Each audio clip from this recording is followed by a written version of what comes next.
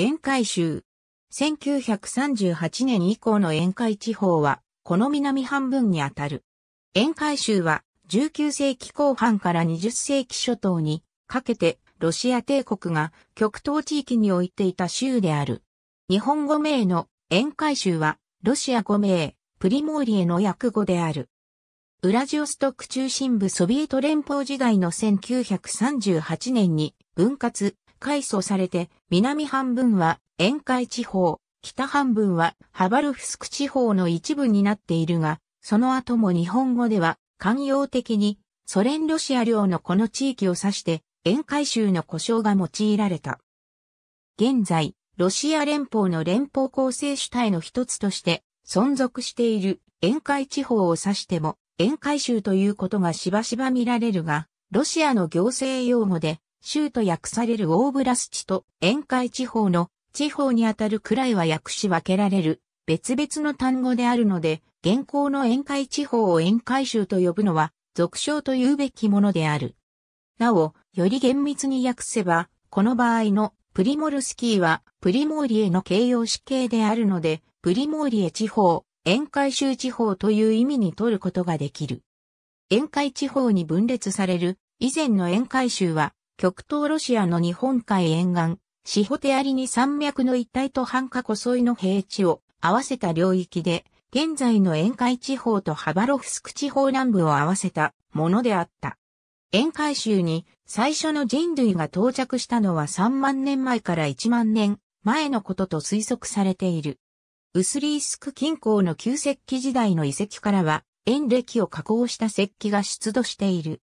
パルチザンスキー地区の洞窟遺跡からは、マンモス、バイソン、サイ、鹿、洞窟トラ、その他など食用にした動物の骨などが出土している。ずっと後の時代になって、カバレロフスキー地区の住居跡から、石人技法による石器が発見されている。この頃はまだ移動生活か、半定住生活であり、数十人の小グループを形成していた。生活は、槍、投げ槍、各種の罠を用いて狩猟をしていた。また、気候が良くなると食用植物の採集に精を出した。新石器時代は7000から6000年前に始まり、新石器時代革命と呼ばれている。主に狩猟、採集の経済から農業、栽培、牧畜などの生産経済へと変化し、土器の出現、研磨技術の普及による魔性石器の出現、弓矢などの新しい労働用具が出現した。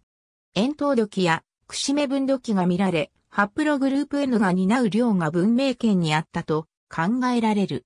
4000年前に青銅器時代に移行する。この頃より土器の無文化が起こり、ハプログループ O1 ビット2の集団が到達したと推定される。南西部に死に貝文化、東海岸部にリドフカー文化が栄えた。3000年前には、鉄器時代に移行したものと推測されている。鉄器時代に入ると、沿海州地域に存在していたとされる政権が、しばしば中国の歴代朝廷に徴工するようになり、歴史書に、祝神の名で登場するようになる。前漢以降には、祝神に代わり、ユーロが現れるが、中国や日本の歴史書にはも引き続き、祝神としての記述が残る。